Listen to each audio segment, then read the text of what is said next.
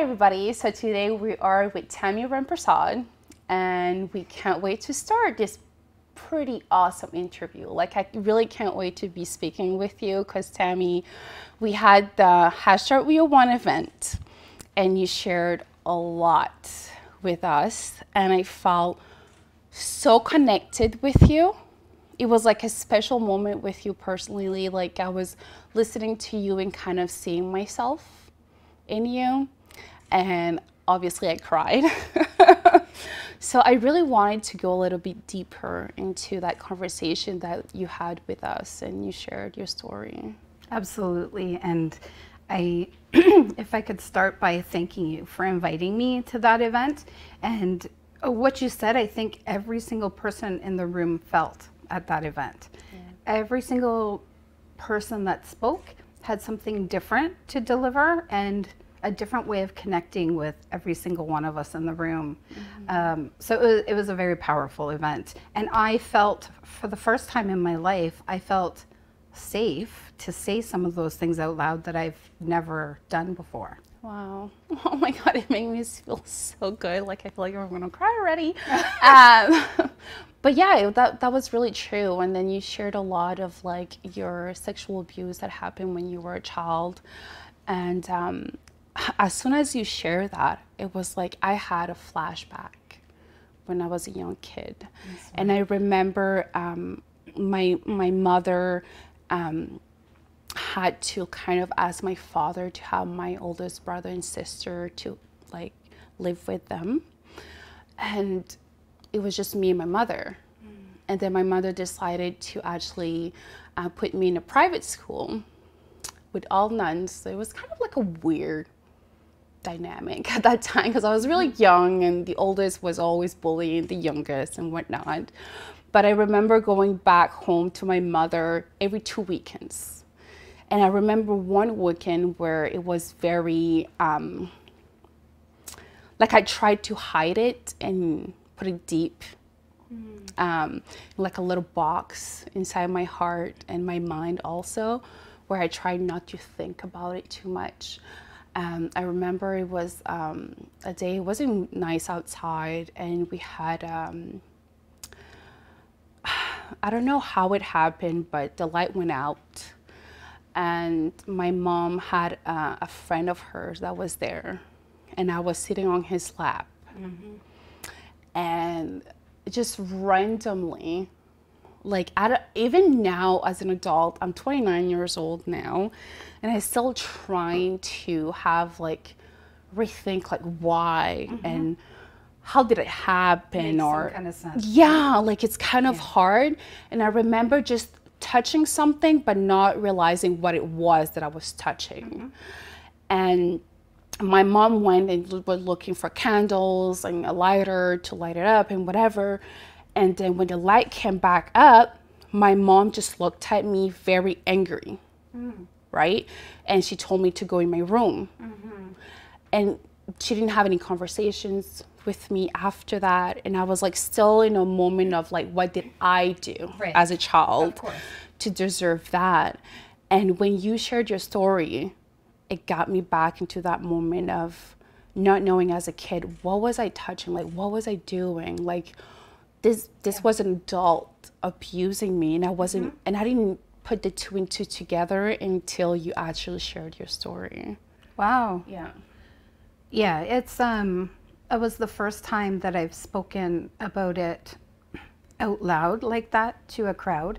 My immediate family knows and my really good friends know what happened to me, but um, when you asked us to be vulnerable and even going through therapy, mm-hmm this is something I felt that I had to do for myself to kind of take back the power. Yeah. And as emotional as it was and scary as it was, um, I felt like afterward it was really good for me to do that. Um, and part of that was because there were several people in that room that came up to me and said that my story resonated with them. Mm-hmm. Um, and I think so many more women and men yeah. have gone through some type of abuse like that, and and we don't even know. The numbers are just out of control, right? And it's what's sad too is that not only do we suffer the abuse, but like you said, your mom never talked to you about it and mm-hmm. stuff. So carrying that with you and not knowing where to package it and not knowing how to deal with it and move mm-hmm. past it, that's that's hard too. Yeah. And I, I felt like for me, I turned 50 yeah. in January. And um, for me, the last few years is really when I started to unpackage all of this. And I think the Me Too movement um, came out publicly. And, you know, going through life, I had always known what had happened and it was never dealt with. But the Me Too movement came out publicly and I felt like something just smacked me in my face. Yeah. And um, I had to, for my own personal sanity, figure out what to do with that and how to move past it. It happened when I was so much younger, but it still affects you. If you don't deal with things, they don't just fade away in your yeah. life, right? Um, and unfortunately, you know, it's it's um, to the detriment of my relationship with my parents. Yeah. Um, you know, but but that's that's part of it. You really do have to deal with it. Yeah. You have to be able to speak about it and and recognize those opportunities because for you too, for me, it was something that was ongoing but abusers, uh, they're smart. They know how to groom you. They know how to grow those opportunities and do it in such a way that makes you feel like you've done something wrong. Yeah. You're terrified to tell and ask for help. Mm-hmm. Um, maybe you're threatened, like I was, that harm was going to come to a loved one. Yeah. You know, so we sit with that baggage and carry it through and never really know how to navigate it properly. Mm. So, um, you know, I, I'm with my business now. One of my clients is the Beausejour Family Crisis Center. Mm-hmm. So, the Courage Center there, and they help so many women and children navigate this kind of stuff. And, you know, they're a client of mine, but they allow me to still do work that makes my heart happy. Yeah. They are, sorry, they're a resource that I wish I had as a child. Mm-hmm. And I never did, and I never even knew that those resources were out there. So, how amazing is it that there really are people in our community yeah. that help, mm-hmm. you know, at the right age and help people navigate that going through life. Yeah. Right? And I think you're literally doing the same thing, right? By sharing your story and by being vulnerable you are that person that you needed when you were younger. Um, do you mind just sharing just a little bit of like what happened and how did that affect you growing up? Yeah, for sure. Um, so I was, my dad never knew his biological father. He was raised um, by somebody um, who came into his mother's life when he was, I believe, like three years old. So this gentleman, although he wasn't his biological father, he was his dad, really, and he was my grampy, and uh, somebody we trusted. And you know, I didn't have the best at home life either. Um, some of what I spoke about there wasn't just sexual abuse. Yeah. It was, um, you know, my dad was an alcoholic mm-hmm. and he was very violent. Um, so that's another thing that predators know. They know who's vulnerable mm-hmm. and and how to work that. Um, I was watching. It's it's interesting. I watched Oprah years ago. Yeah. Um, and she had done like these interviews with predators and molesters and learned so much from mm. them. And there's so much into what they do and what they know that they're doing. Um, anyhow being with that side of the family outside of my home brought me joy and was a comfort in a lot of ways. They had a hobby farm. I love animals. Um, my dad's two youngest sisters were there and they were my favorite aunts. They were younger, a lot of fun. Yeah. So I loved going there. Mm-hmm. Um, and I would be there alone a lot. Um, my grandmother had a stroke um, years ago and um, wasn't as mobile. Yeah. She would go to bed early. My two aunts that were young would be out. So there was opportunity for me to be alone with my grampy. Mm-hmm. And uh, yeah, things started. You know, it's it started really simple. Um, like he would he would he would always cook because my nan um, was sh- from her stroke she couldn't cook um, so he would always cook so he would teach me cooking and i thought that that was really exciting you know um, the first memory that i have tying everything back to it all starting mm-hmm. was um, one night in the kitchen we were alone and uh, he asked me to sit on his lap and uh, asked me if I wanted to have a sip of alcohol mm. and um, try smoking. Mm. Um, and then there was touching, and things progressed from there. For me, I have two younger brothers. Uh, one's three years younger than me, and one's eight years younger than me. the one three years younger than me, closer in age, he loved going there too. When he could go, he's he's very much an adventurous, outdoorsy guy. Loved the animals. Um, and he wasn't a baby like my other brother. Yeah. Um, so that Grampy also knew that I cared about him. Mm-hmm. And because often when things would get really hard at home, it was my brother and I in the room. We would hide in one of the bedrooms together, and I can't even tell you how many times we planned to run away. You know, um, we were kind of our safety net together. Mm-hmm. So um, it was one of those things that he held over my head and uh, said that he would hurt my brother, you know, if I ever told. And of course, you're young. Mm-hmm. I'm not allowed to smoke. I'm not allowed to drink. I don't know what is happening and what I did to deserve it and how it all fits in my world. And uh, I was scared. Yeah. Um, and I talked about this part in in um, at the event too. This is a part that really so years and years later.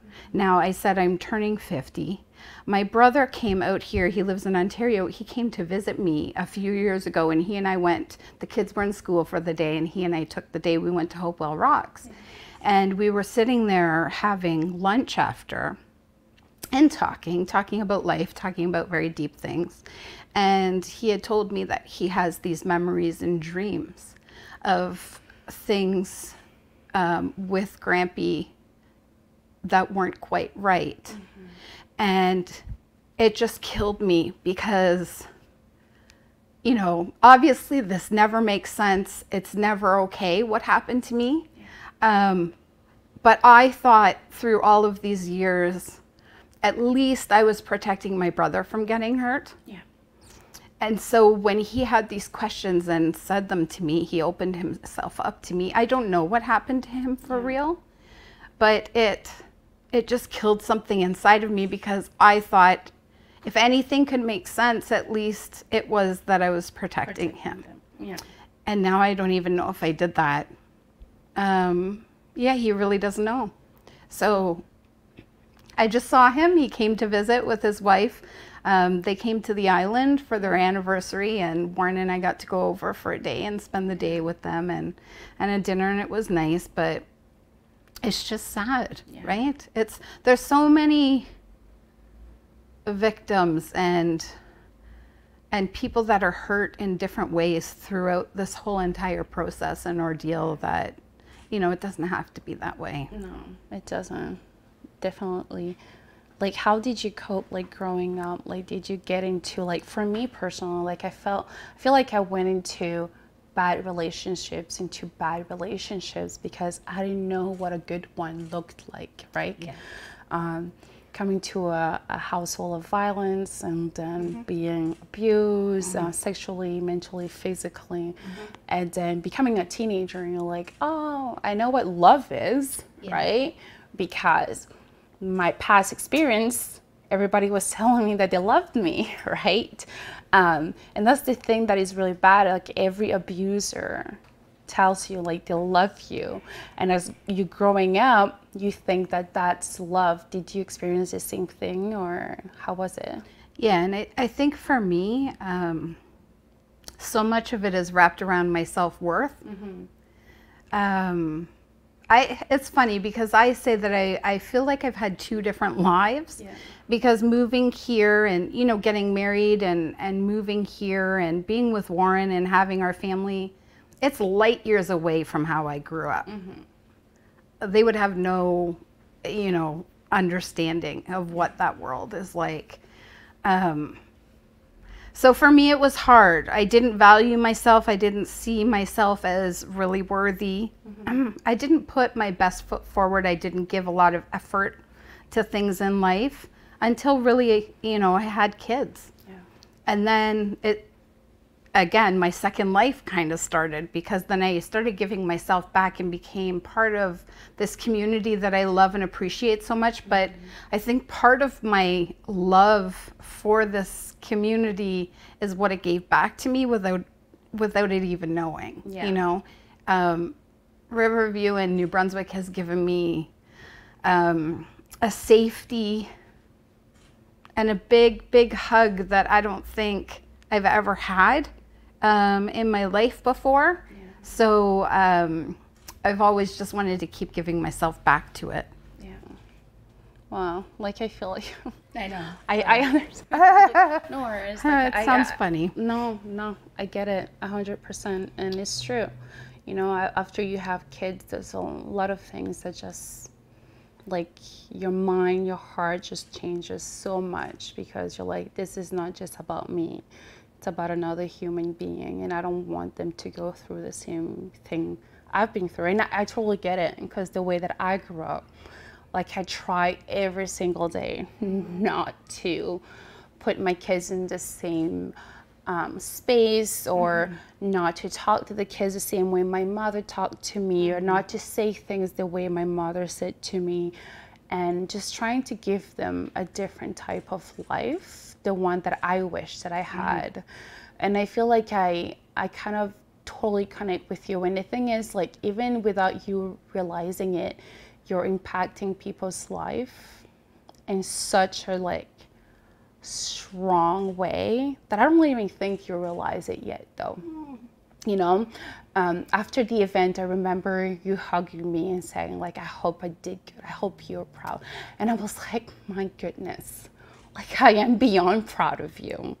Uh, by sharing that, everybody that was there, you it was like a moment like everybody was silent and just looking at each other you know uh, going back home and having like messages or calls everybody saying like oh my god like when tammy shared this happened to me or oh my god i remember this happening to me when i was younger but i didn't i didn't think it through. And now after sh- she was sharing her story i was like oh my god this is what it was you know? This is abuse right? And sometimes like a we, we don't see that we don't think about that.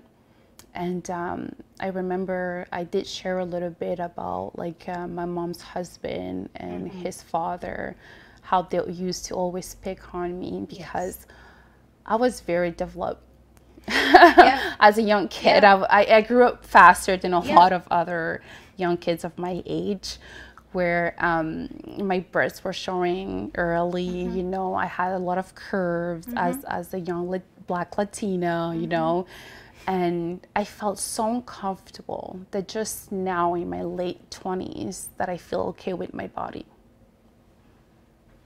growing up, I just hated my body. I just wanted to hide it all the time. And I didn't realize why. I thought it was just because I was shy, Yeah. right? If I was going to the beach, I had a huge sweater on. Oh, I didn't want so. I didn't want anybody to see my curves. I didn't want anybody to see what I was looking like underneath. Um, like literally, you could see pictures of me Yeah. uh, winter, summer, spring, fall, I had a huge sweater on, like an extra large sweater on. Um, and it was like a thing of like, oh my God, like, you don't know how bad somebody can destroy you until like you work on yourself and you surround yourself with great people that you're like i wish i had um, this strength that i have now Yeah. as a young girl you know like i know that i had it but like now i'm like i wish that i had somebody Yes. Yes. like i am right now Yes. beside her and telling her everything is gonna be okay, and um, just encouraging her that she's gonna have a great life and Yeah. great kids. You know what I mean? Yeah, I totally, I totally get that, and and when I talked about the center, that's that's what I mean. There are people that are doing that out there, uh, so I'm thankful. We just need to make sure that people feel safe, right? Yeah. Like right now, people feel safe and loved, and uh, know their worth, and uh, that that those outlets are there, Yeah. and we can help them find the help that they need, right? Because it, it really is true. When you don't resolve the stuff, it doesn't just go away. No. It, it defines you. Yeah. And you need to take your power back and, um, and use it for good. And I, I never really realized that. It was something that I held tight to me. Um, so when you asked me to be vulnerable and I, I said it out loud, even though I was crying and it wasn't my best speaking moment, um, you gave me power that day. And to be honest, for us, it was like the most beautiful moment ever. Um, maybe for you, it wasn't the best speaking moment in, in, in your head, in your mind, but to be honest, for us, it was like the most beautiful thing ever because, again, you did inspire us in ways that you don't even know. Like the, the impact that you have in so many people is incredible. And I just wish that you can put all the things that happened to you, right? And just turn it around and make something beautiful with it. Lemonade. Yeah, exactly, right? and and that, that's something really inspiring because, like, uh, as I was sharing and across uh, high schools here in New Brunswick about my story and, and everything, it was like a moment after I was sharing. You're, I was sitting in my car and just reading all the feedbacks from all the youth, and I was just crying. And I was like, oh my God, this is amazing. But at the same time, I was like, this is me. That's me. That's me. That's mm-hmm. me. It's like, what can we do? How mm-hmm. can we work together to make a change in this world, right? Mm-hmm. Because I feel like the thing is, it's not about me. It's not about you. It's about the next generation uh-huh. and what they can do to make this world a better place. It's like, but for you, like, what do you think, or what do you feel like we should do as a community? I think that's a great question. And if I'm being honest with you, I'm going to push that right back on you because having events like you had and asking people to be vulnerable and open themselves up in different ways because we all have different experiences, that has resonated with other people and helped them. So it did help me. But there were several people that reached out to me that I didn't even know that day. Never mind the ones that I do know, but people that reached out to me that I had never met that my story resonate, resonated with them and it gave them something back. So I think for us, um, and off camera, we were talking about this too. Um, you know, when we know people, you know only what people show you and allow you to know about them. You don't really fully know people. So we need to walk around this world knowing that and knowing that everybody has real life going on. Yeah. And sometimes people react to things that we don't even know exist. Yeah. And we just see, you know, the byproduct, but there's meat there somewhere mm-hmm. causing them to be that way. So we need to be better humans and know that everybody has a story Yeah. and everybody is going through something. But we need to be able to share the world with people and help them feel like it's a safe space. I felt like that was a safe space that day. Yeah. I felt so comfortable to open up, and it's mm-hmm. because of all of you there, right? So I think that those things are things that we can do. And of course, help support the people who are doing so good out there, mm-hmm. right?